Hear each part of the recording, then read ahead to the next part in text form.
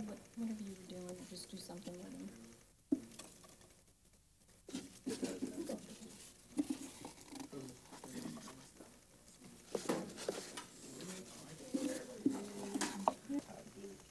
Well, cause once, once we seal these up like